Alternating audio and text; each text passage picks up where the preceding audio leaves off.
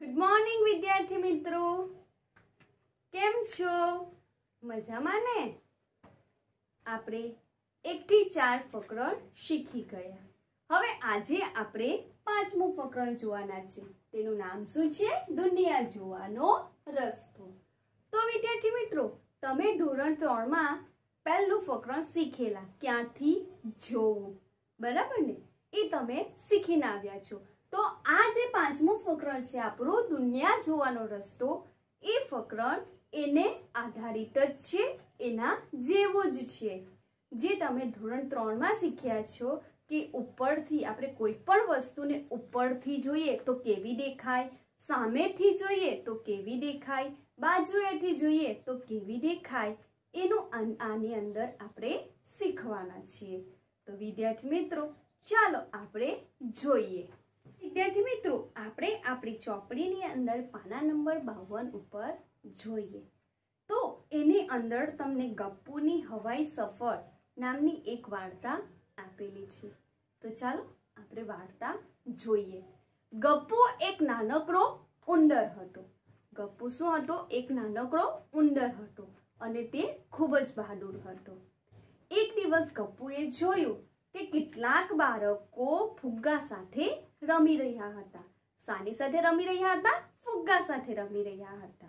અને એ બાળકોએ જેવો ફુગ્ગો છોડ્યો કે સીધો ફુગ્ગો ઉપર ચડી ગયો. ઉપર ચડી ગયો એટલે ક્યાં લાગી ગયો? જે છત છે, એ છતને અડી ગયો. બરાબર? એટલે ગપ્પુને નવાઈ લાગી. અરે વાહ, આ એવું તો શું છે કે ઉપર ઉડી ગયો? બરાબર? તો બાળકો ફુગ્ગાને ત્યાં જ મૂકીને ક્લાસરૂમની બહાર ચાલ્યા જ ગયા. પણ ગપ્પુ ઘણો રોમાંચિત હતો. તેને જાણવાની ઘણી ઈચ્છા હતી. એટલે ગપ્પુ શું કર્યું? જે ફુગ્ગા સાથે જે નાની દોરી લટકતી હતી, તો ગપ્પુ ઉંદર દોરી ઉપર ચડી ગયો અને ફટાફટ ફુગ્ગા પાસે પહોંચી ગયો. હવે મિત્રો, આ ફુગ્ગો ગેસથી ભરેલો હતો. શાનાથી ભરેલો હતો, ગેસથી ભરેલો હતો. એટલે એને જ્યાં પણ જગ્યા મળે, ત્યાં એ ઉડીને ચાલ્યો જાય. બરાબર? તો ગપ્પુ તો ફટાફટ એની ઉપર ચડી ગયો. અને ગપ્પુએ જોયું કે, અરે વાહ, આ પંખો તો જુઓ, નીચેથી આપણે જોઈએ તો કેવો દેખાય છે. અને ઉપરથી તો જુઓ કેટલી ધૂળ જામેલી છે આ પંખા પર. નીચેથી તો પંખો સ્વચ્છ દેખાય છે, પણ ઉપરથી શું થયેલું છે? આ પંખામાં તો ધૂળ જામેલી છે. આટલું વિચાર કર્યો અને પછી ફુગ્ગો શું થયું, પવન આવ્યો, હવા લાગી એટલે ફુગ્ગો શું થયો? બહાર ઉડી ગયો. હવે ગપ્પુ જ્યારે ઉપર હતો, ગપ્પુ જ્યારે ઉપર હતો, ત્યારે જ્યારે બે બહાર નીકળી જાય છે વર્ગખંડની બહાર નીકળી જાય છે એટલે શું થાય છે? ફુગ્ગો ઊંચે આકાશમાં ઉડી જાય છે. ફુગ્ગો જ્યારે ઊંચે આકાશમાં ઉડે છે, ત્યારે ગપ્પુ નીચે શું જુએ છે? તો ચાલો હું તમને બતાવું. મિત્રો, જો તમે આ ચિત્ર જોઈ શકો છો, જે કેવું સુંદર દેખાય છે, સરસ મજાના નાના નાના ઘર દેખાય છે.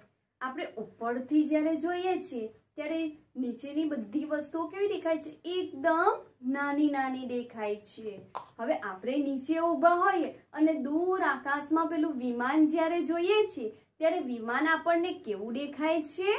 હા, નાનું દેખાય છે ને? તેમ વિમાનમાં જે વ્યક્તિ બેઠેલી હશે, એને નીચેના લોકો કેવા દેખાતા હશે? નીચેના ઘરો કેવા દેખાતા હશે? નાના નાના દેખાતા હશે ને? તો ગપુ ઉંડણ પણ શું જોઈએ છે? કે અરે વાહ, નીચે તો જુઓ, કેવી સરસ દેખાય છે. કેટલા સરસ નાના નાના ઘર દેખાય છે અને માણસો પણ નાના નાના કીડી જેવડા દેખાય છે.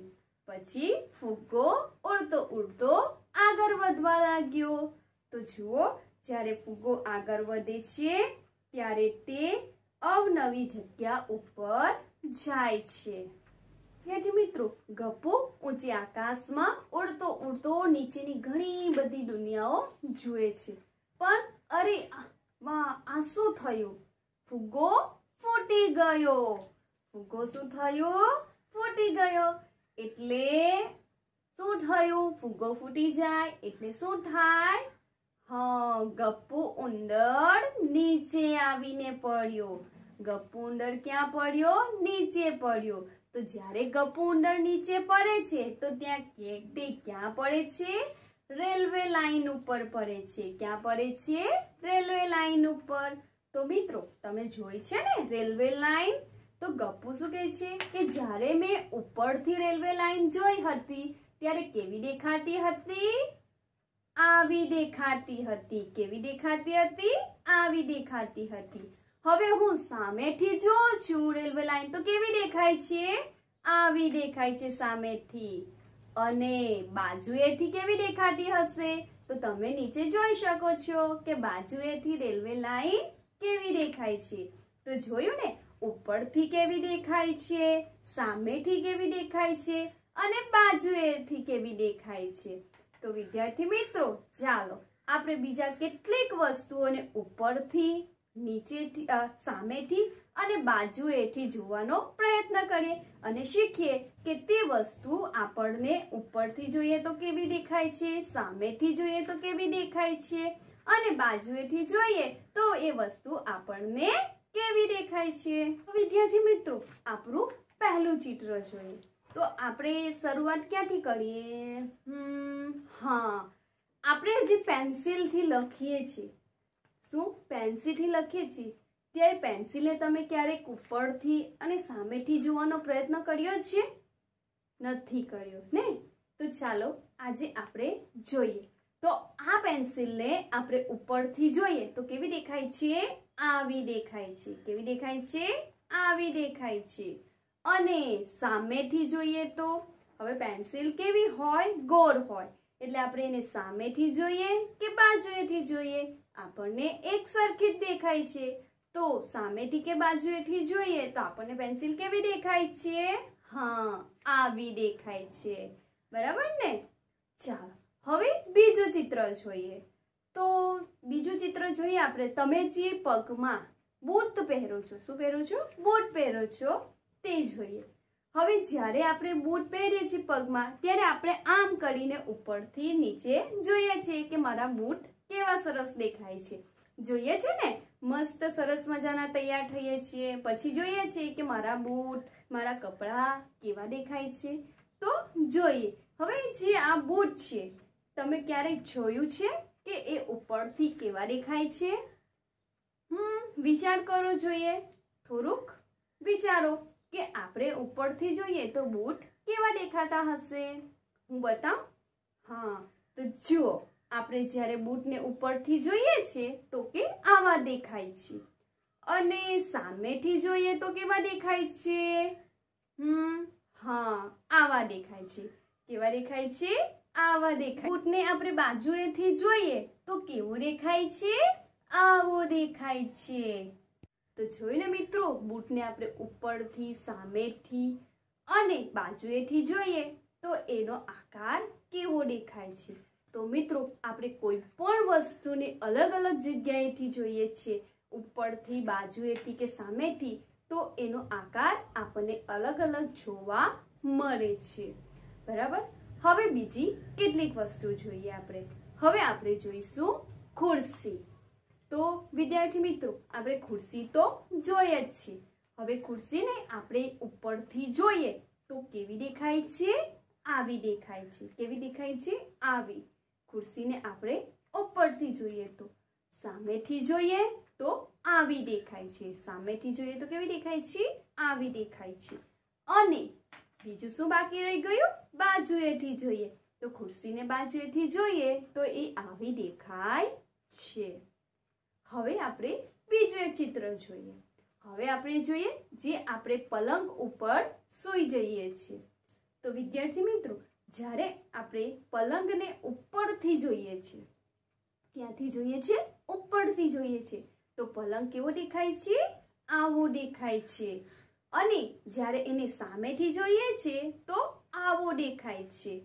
અને બાજુએથી જોઈએ, તો આવો દેખાય છે. બરાબર ને? સમજી ગયા ને?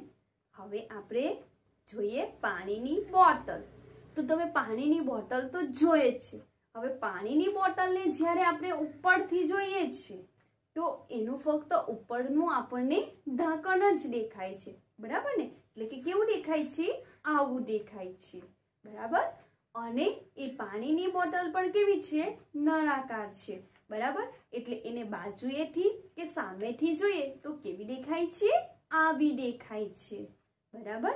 તો મિત્રો, તમે સમજી ગયા ને કે કોઈ પણ વસ્તુને ઉપરથી, બાજુએથી કે સામેથી જોઈએ, તો તેના આકારમાં આપણને વિવિધતા જોવા મળે છે. એટલે કે અલગ અલગ આકાર આપણને જોવા મળે છે. આમ, આપણે કોઈ પણ વસ્તુને જોઈએ, તો એના આકારમાં આપણને તફાવત જોવા મળે છે. વસ્તુ એક જ છે, પણ એને આપણે જે રીતે જોઈએ છે, એ રીતે આપણને એનો આકાર જોવા મળે છે. તેથી મિત્રો, તમે ગાડી તો જોઈ જ હશે. જોઈ છે ને? તો આ ગાડીને પણ આપણે ઉપરથી, બાજુએથી, સામેથી જોઈએ કે પાછળથી જોઈએ. તો એ કેવી દેખાય છે? તો તમે આ ચિત્રમાં જોઈ શકો છો કે ગાડીને ઉપરથી, સામેથી, બાજુએથી અને પાછળથી જોઈએ તો તેનો આકાર કેવો જ દેખાય છે. તેવી જ રીતે આપણે બીજું જોઈએ તો બસ. તો બસને પણ આપણે આગળથી, પાછળથી, બાજુએથી અને સામેથી જોઈએ તો અલગ અલગ ભાગ આપણે બસના જોઈ શકીએ છીએ, જે તમે આ ચિત્રની અંદર જોઈ શકો છો.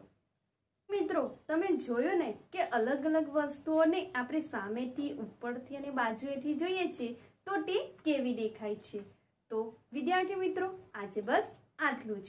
નવા વીડિયો સાથે આપણે ફરી મળીશું. ત્યાં સુધી આવજો